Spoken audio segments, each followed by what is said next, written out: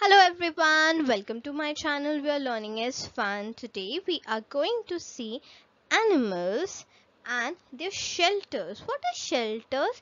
Shelters are the places which these animals used to live and the sounds which they used to take out. And if you like my video, please do subscribe, like and share. And this video is from the English Balbharati for Standard First Maharashtra Board. And here are some animals which we are going to see their shelters and the sounds which they produce. So let's get started. Now, which animal is this? Hen. Hen used to live in a coop. And the sound which hen used to take out is cluck. This is horse. Horse lives in a stable.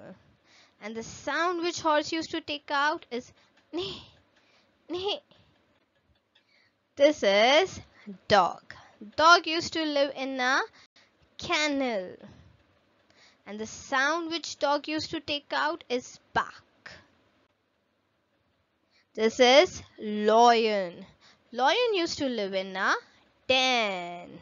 And the sound which lion used to take out is roar.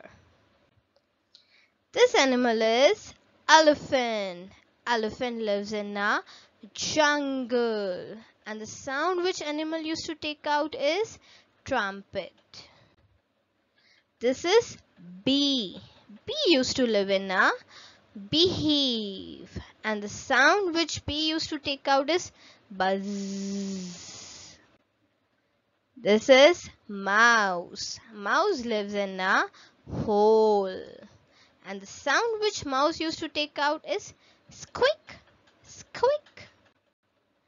This is duck.